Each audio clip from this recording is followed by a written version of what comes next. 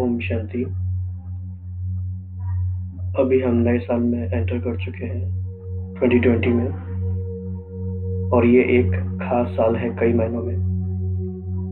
पिछले कुछ सालों से ये रियलाइजेशन पूरी दुनिया में बढ़ रही है।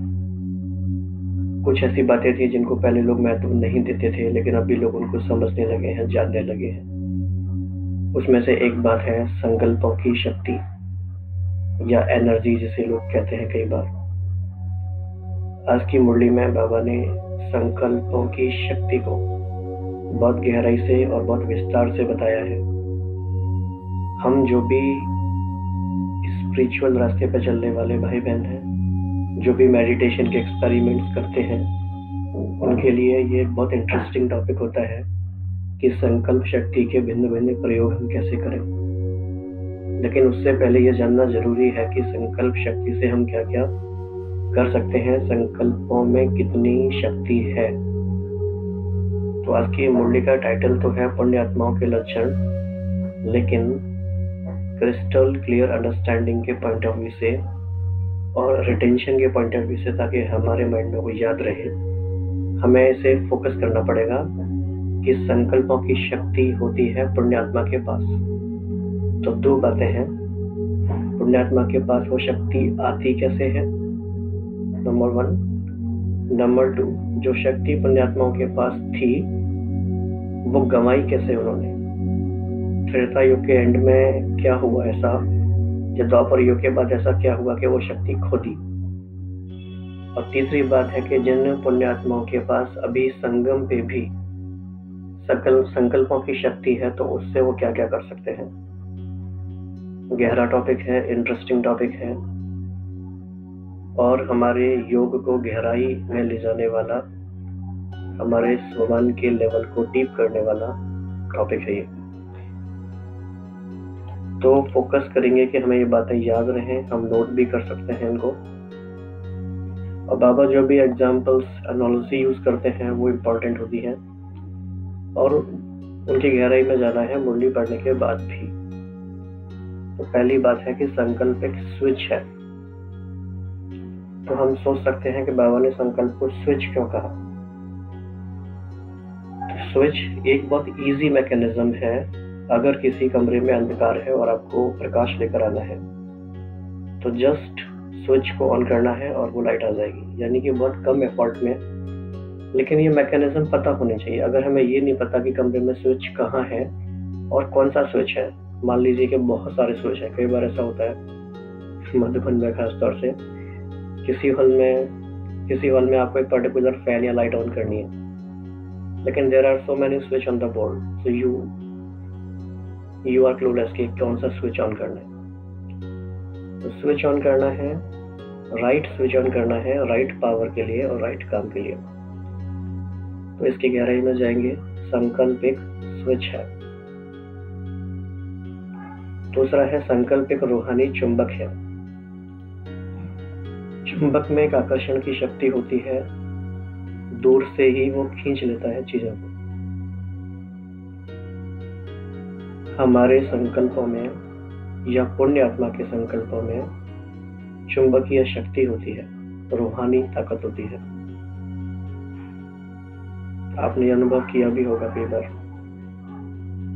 इसको भी हम देखेंगे। तीसरी बात है पुण्य आत्मा का जो संकल्प होता है, वो लाइट हाउस होता है। कितनी अच्छी बात है ये। लाइट हाउस होता है तो खुद प्रकाशमान होता है, यानी उसे खुद अपना रास्ता क्लियर होता है। कहाँ जाना है, कैसे जाना है।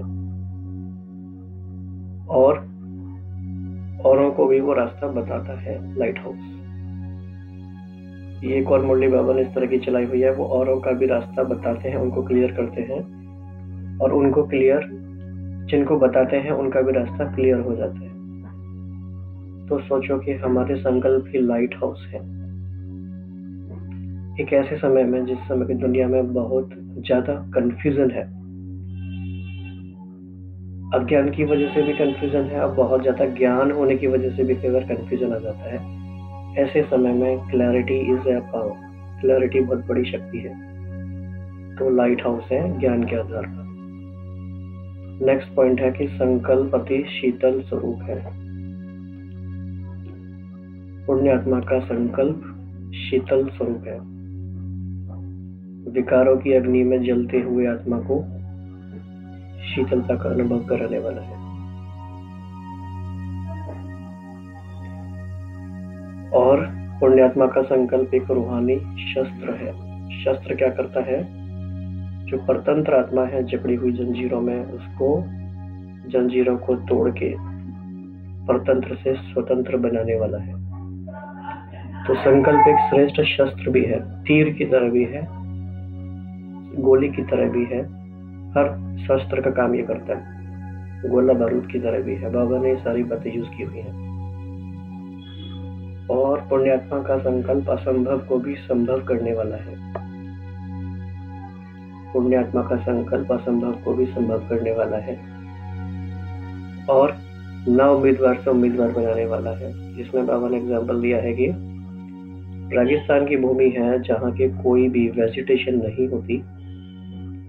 ऐसी मरुभूमि में ड्राई लैंड में भी हरी हरियाली लाने वाला है। यानी कि जहाँ कोई उम्मीद नहीं है होपलेस केस है, वहाँ भी होप लेकर आने वाला है। तो ये बहुत क्लियर काफ़ी इंपॉर्टेंट पॉइंट्स हैं। लेकिन वो पुण्यात्मा बनी कैसे? पहली बात होती है कि पुण्य आत्मा के पास जो भी खजाने होते हैं, वो सभी को महादान करने के कारण पुण्यात्मा बनी है। बाबा ने नए साल पे भी थर्टी फ़र्स्ट दिसंबर को भी हमें जो होमवर्क दिया है, उसमें भी ये महादान की बात कही है। हमें सफल करना है सब कुछ, जो समय हमारे पास है, जो श्वास हमारी चलती है, जो संकल्प हमारे मन में आते हैं। सब कुछ सफल करके महादानी बनना है। तो उससे पुण्यात्मा बनते हैं। और ऐसी आत्मा हर सेकंड हर संकल्प की कल्याणकारी होती है। और अपनी रहम की किरणों से वो अनेक आत्माओं के दुख, अशांति के अंधकार को दूर करने वाले होते हैं। बाबा ने एक बहुत ही अच्छा एग्ज़ाम्पल दिया है। यह आज की मुरली का हाईलाइट है, एक तरह से ये वाला हम बहुत डिटेल में पढ़ेंगे। बाबा ने ये बात यूज़ की है कि द्वापर युग में जो राजा थे, उनके पास पहले बहुत सत्ता थी अथॉरिटी थी। उस अथॉरिटी से वो जाए, जो चाहे वो कर सकते थे।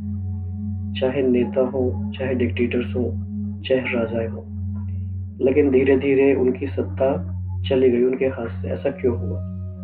तो उसका बाबा ने कंपैरिजन किया है हमारे साथ।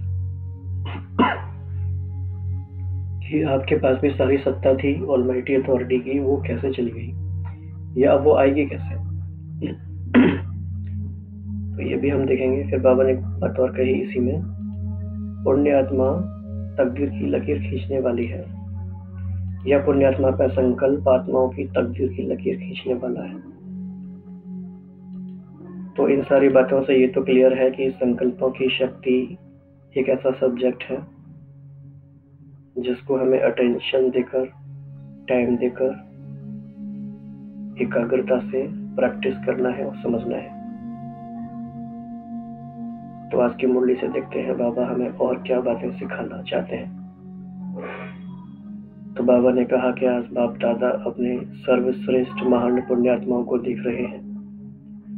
पुण्यात्मा अर्थात हर संकल्प और हर सेकंड अपने और अन्य आत्माओं के प्रति पुण्य का खाता जमा करने और कराने वाले। तो सिर्फ़ हम खाता जमा करने वाले नहीं हैं, कराने वाले भी हैं। इन बातों की भी भिन्न भिन्न युक्तियाँ रचनी है कि कैसे और आत्माओं को भी पुण्यात्मा बनाए। सेकेंड पॉइंट है पुण्य आत्मा अर्थात सदा कोई ना कोई खजाने का महादान कर पुण्य कमाने वाली। कोई ना कोई खजाने का दान हम कर सकते हैं, इसमें किसी मौके की ज़रूरत नहीं होती है। ये बाय डिफ़ॉल्ट हर समय हो सकता है। चाहे हम गुणों का दान करें, शक्तियों का दान करें। थर्ड पॉइंट है, पुण्यात्मा अर्थात सदा उनके नयनों में। बाप दादा की मूरत और सूरत में बाप दादा की सीरत। स्मृति में बाप समान समर्थ। मुख में सदा ज्ञान रतन अर्थात सदा अमूल्य बोल। हर कर्म बाप समान चरित्र। सदा बाप समान विश्व कल्याणकारी वृत्ति। हर सेकंड, हर संकल्प के कल्याणकारी। रूहानी किरणों द्वारा चारों ओर के दुख शांति के अंधकार को दूर करने वाले।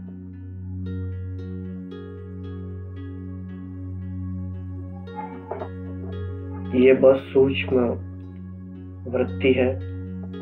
बाप समान विश्व कल्याणकारी वृत्ति। इतनी सी बात भी अगर धारण हो जाए तो सब कुछ सहज होने लगेगा। और इसका एक प्रैक्टिकल अभ्यास है ये। हम मास्टर सूर्य हैं और रहम की किरणों के द्वारा सारे विश्व की आत्माओं के दुख शांति के अंधकार को दूर कर रहे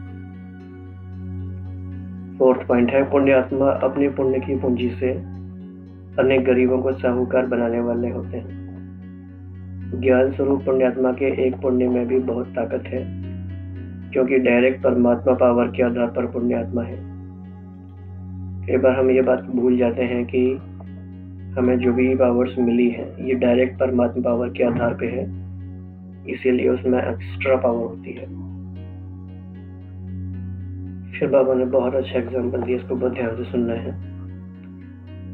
जैसे द्वापर के इनडायरेक्ट दान पुण्य करने वाले सकामी अल्पकाल के राजाएँ देखे व सुने होंगे। उन राजाओं में भी राज्य सत्ता की फुल पावर थी। जो ऑर्डर करे उसको कोई बदल नहीं सकता, चाहे किसी को क्या भी बना दे। ठीक है, राजा मतलब सबसे ऊपर होता था। किसी को माला माल बना दे, किसी को फांसी पर चढ़ा दे, दोनों अथॉरिटी थी। अच्छा करने की भी, बुरा करने की भी। तो ये थी लेकिन इनडायरेक्ट दान्य पुण्य की सत्ता जो द्वापर के आदि में यथार्थ रूप में यूज़ करते थे। फिर भी वो यथार्थ रूप में ही थी। लेकिन पीछे पीछे वही राज्य सत्ता अयथार्थ रूप में हो गई। इस कारण आखिर अंत में वो समाप्त हो गई। लेकिन जैसे इनडायरेक्ट राज्य सत्ता में इतनी शक्ति थी, जो अपनी प्रजा को, परिवार को अल्पकाल के लिए सुखी व शांत बना देते थे, ऐसे ही आप पुण्य आत्माओं व महादानियों को भी डायरेक्ट बाप द्वारा प्रकृति जीत, माया जीत की विशेष सत्ता मिली हुई है तो आप ऑलमाइटी सत्ता वाले हो। अपनी ऑलमाइटी सत्ता के आधार पर, अर्थात पुण्य की पूंजी के आधार पर, शुभ संकल्प के आधार से किसी भी आत्मा के प्रति जो चाहो वह उसको बना सकते हो। It's a big thing almighty सत्ता के आधार पर, अर्थात पुण्य की पूंजी के आधार पर, शुभ संकल्प के आधार से किसी को जो चाहे वो बना सकता है।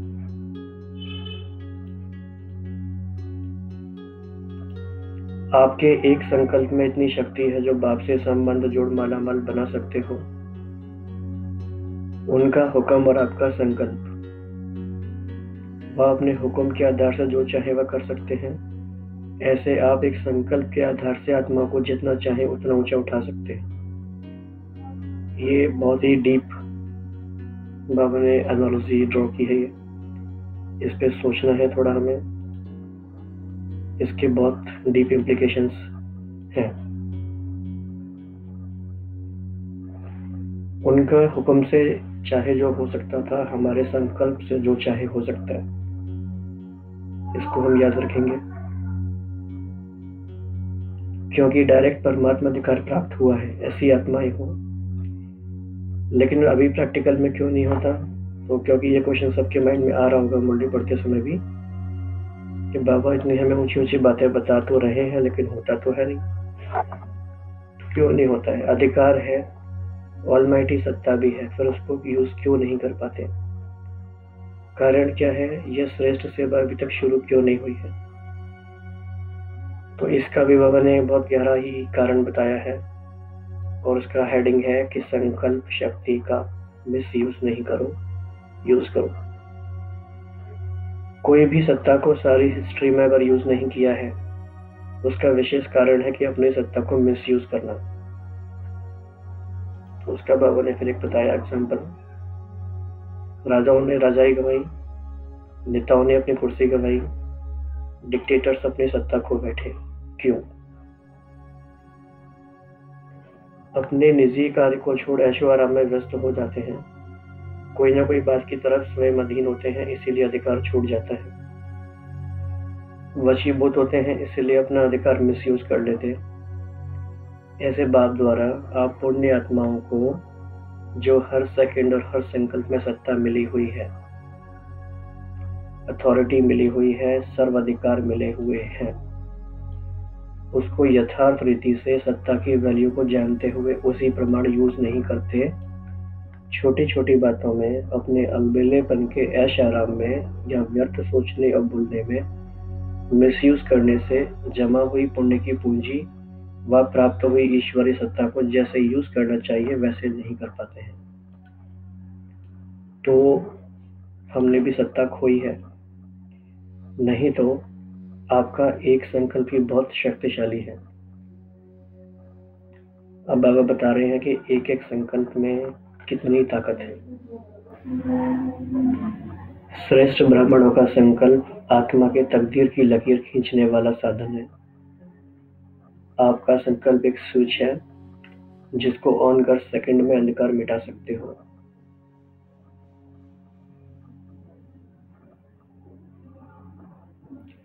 पुण्य आत्माओं का एक संकल्प एक रूहानी चुंबक है, जो आत्मा को रूहानियत की तरफ़ आकर्षित करने वाला है। पुण्यात्मा का संकल्प लाइट हाउस है, जो भटके हुए को सही मंजिल दिखाने वाला है। ये सारे हमारे योग के अभ्यास भी हो सकते हैं। पुण्य आत्मा का संकल्प अति शीतल स्वरूप है, जो विकारों की आग में जली हुई आत्मा को शीतल बनाने वाला है।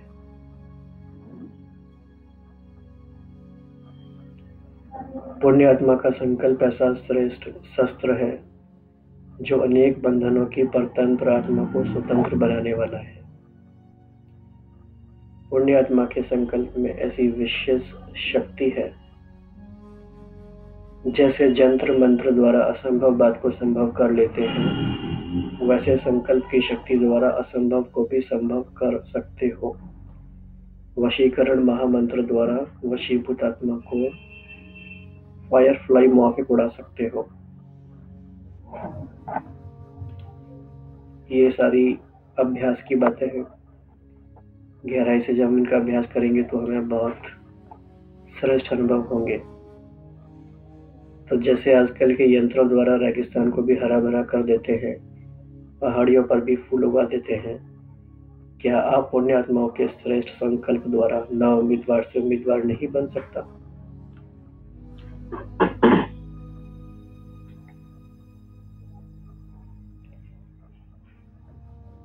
ऐसे हर सेकंड के पुण्य की पूंजी जमा करो। हर सेकंड हर संकल्प की वैल्यू को जान। संकल्प और सेकंड को यूज़ करो। जो कार्य आज के अनेक पदमपति नहीं कर सकते, वह आपका एक संकल्प आत्मा को पद्मा पद्मपति बना सकता है। तो आपके संकल्प की शक्ति कितनी श्रेष्ठ है? चाहे जमा करो और कराओ, चाहे व्यर्थ गवाओ, यह आपके ऊपर है। क्या होगा फिर? बाबा उसका कॉन्सिक्वेंस भी बता रहे हैं। गंवाने वाले को पश्चाताप करना पड़ेगा। जमा करने वाले सर्व प्राप्तियों के झूले में झूलेंगे। कभी सुख के झूले में, कभी शांति के झूले में, कभी आनंद के झूले में। और गंवाने वाले झूले में झूलने वालों को देख, अपनी झोली को देखते रहेंगे। तो ये तो अच्छा नहीं लगेगा किसी को भी। तो आप सब तो झूलने वाले हो ना? फिर बाबा ने कुछ राजस्थान और यूपी वालों से बात की है। फिर याद प्यार, ऐसे श्रेष्ठ संकल्पों की विधि द्वारा आत्माओं की सद्गति करने वाले, ईश्वरीय सत्ता द्वारा आत्माओं को हर विपदा से छुड़ाने वाले, सदा पुण्य की पूंजी जमा करने और कराने वाले। सदा विश्व कल्याण के दृढ़ संकल्प धारण करने वाले ऐसे सर्वश्रेष्ठ पुण्य आत्माओं को बाप दादा का याद, प्यार और नमस्ते। हम सभी भाई बहनों का भी, बच्चों का बाप दादा को नमस्ते। तो आज की मुरली से हम योग के अभ्यास में जिन बातों को शामिल करेंगे, वो यही बात है कि सबसे पहली बात तो ये है कि डायरेक्ट परमात्मा पावर के आधार पर मैं एक पुण्यात्मा हूँ और मेरा एक एक संकल्प आत्माओं की तकदीर की लकीर खींचने वाला है। मुझ आत्मा का संकल्प एक स्विच की तरह है। जो कि एक सेकंड में अंधकार को दूर करने वाला है, विस्मृति से समर्थी बनाने वाला है। मुझ आत्मा का हर एक संकल्प रूहानी चुंबक है। जो आत्माओं को परमात्मा कार्य की तरफ़ आकर्षित करने वाला है। और हमारा हर एक संकल्प लाइट हाउस है। टोटल एब्सोल्यूट क्लैरिटी वाला है। हमारा और सबका रास्ता क्लियर करने वाला है। हर एक संकल्प अति शीतल स्वरूप है। दो युगों से जलती हुई आत्मा को शीतल बनाने वाला है।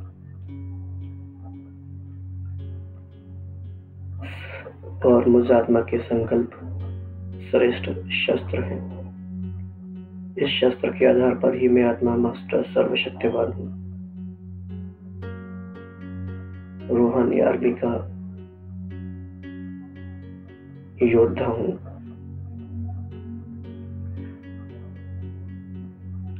माया की हर चाल को समझ, उसको जीतने वाले हैं हम। संकल्पों की शक्ति के आधार पर असंभव को भी संभव बनाने वाले पुण्यात्माएँ हैं। नौ उम्मीदवार से उम्मीदवार बनाने वाले, रेगिस्तान जैसे भूमि में भी हरियाली लाने वाले पुण्यात्माएँ हैं।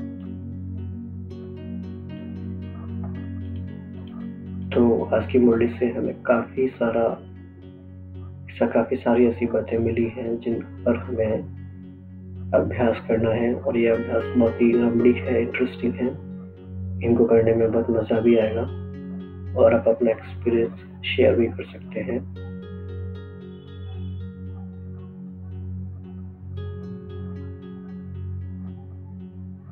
और फाइनली हम एक थॉट में ये बैठेंगे कि हम हम आत्माओं की रूहानी किरणें, रहम दिल की किरणें पूरे विश्व में चारों ओर फैल रही है।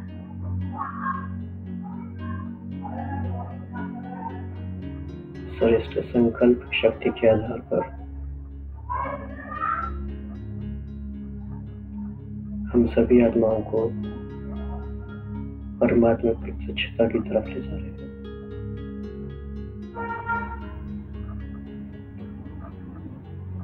ओम शांति।